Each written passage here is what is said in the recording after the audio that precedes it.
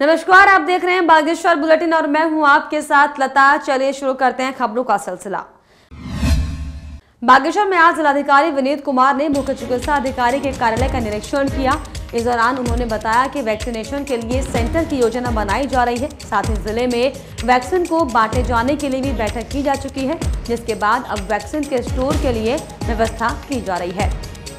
Task force की जो बैठक है, वो लगातार हमारी हर हफ़्ते होती है। और उसी में जो अभी तक हमने निर्णय लिए हैं, उसी के रेफरेंस में आज हमारे यहाँ पे इंस्पेक्शन हमने किया है।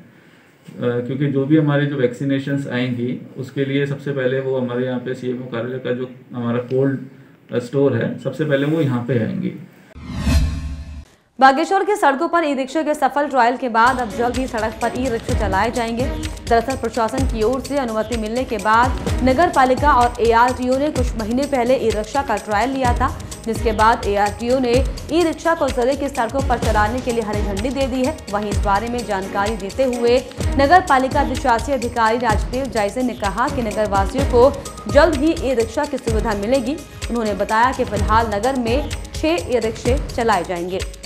जनता की मांग भी थी और लोगों को चूँकि हमारा एरिया बढ़ गया तो आने जाने में बहुत दिक्कत होती है। उसको देख करके हमने एस डी एम साहब, पीडब्ल्यूडी विभाग नगर पालिका पुलिस विभाग और परिवहन विभाग, ये सब मिल करके हमने सर्वे कराया था। तो उसमें हमने चूँकि वहाँ से आर टी ऑफ़िस से ये था कि आप वो करिए, इसका परीक्षण करिए और इस पर ट्रायल करिए। तो हमने ट्रायल भी कराया था। तो ट्रायल हमारा सफल रहा।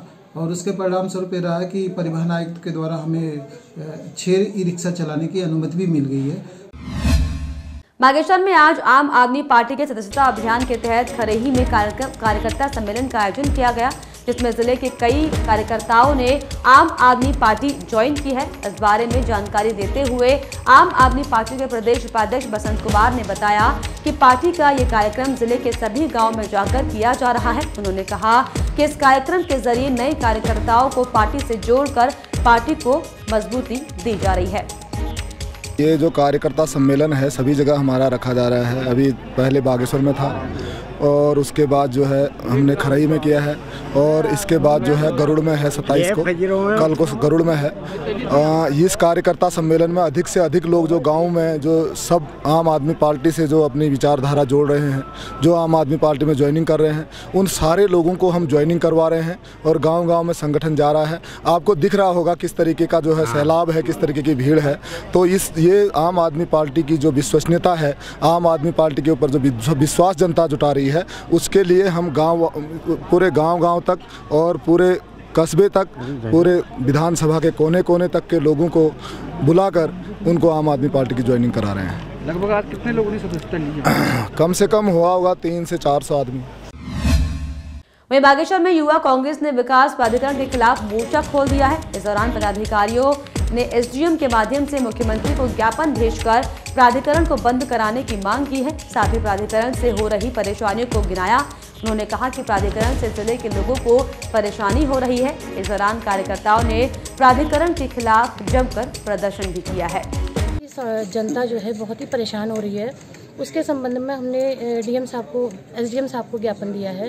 क्योंकि जब विकास प्राधिकरण लगा था और विषम परिस्थिति में, पर्वतीय क्षेत्र जो है, बिल्कुल भौगोलिक परिस्थिति ऐसी है, दो दो दो फीट के रास्ते हैं।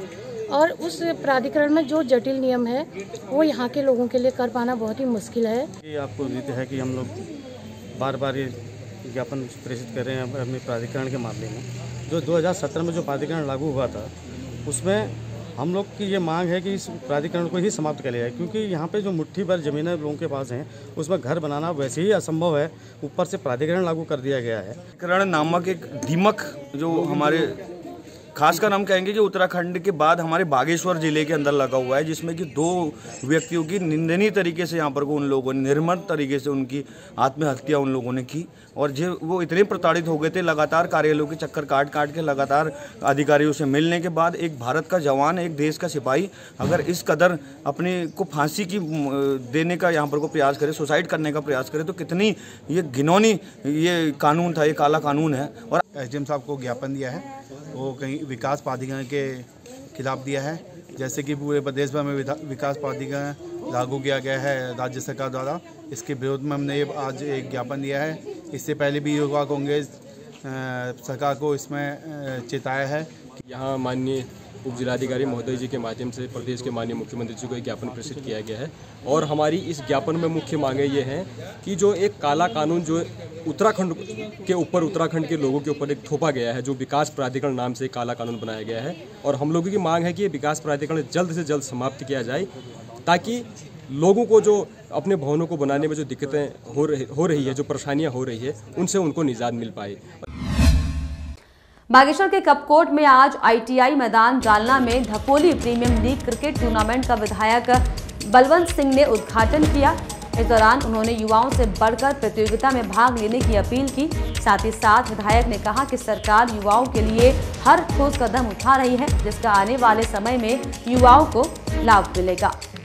क्लब जो धपोली है, उसके द्वारा जो हमारा पॉलिटेक्निक और आईटीआई है इस खेल मैदान में जो क्रिकेट का शुभारंभ हुआ है, मैं सभी खिलाड़ियों को युवक मंगल दल के अध्यक्ष जी और अपने संरक्षक जी सहित सभी खिलाड़ियों को और बहुत शुभकामनाएँ इस अवसर पर देना चाहता हूँ। जैसा कि हर वर्षों की भांति इस बार भी, इस वर्ष भी हम धपोली नवयुवक मंगल दल क्रिकेट क्लब धपोली की तरफ़ से ढालन में आई ढालन में क्रिकेट टूर्नामेंट कर रहे हैं। इस क्रिकेट टूर्नामेंट के लिए हमने माननीय विधायक महोदय को आमंत्रित किया, जिन्होंने बागेश्वर में आज नागपुर में किए जा रहे अखिल भारतीय विद्यार्थी परिषद के छियासठवें राष्ट्र अधिवेशन का वर्चुअल आयोजन किया गया। इस दौरान कोरोना के मानकों को ध्यान में रखते हुए ज़िले की इकाइयों ने वर्चुअल कॉन्फ्रेंस के माध्यम से अधिवेशन में हिस्सा लिया। इस दौरान ज़िले के गरुड़ में भी वर्चुअल के माध्यम से कार्यकर्ता अधिवेशन से जुड़े हैं। और इसी के साथ बागेश्वर बुलेटिन फ़िलहाल इतना ही। आप देखते रहिए न्यूज़ थर्टी उत्तराखंड। नमस्कार।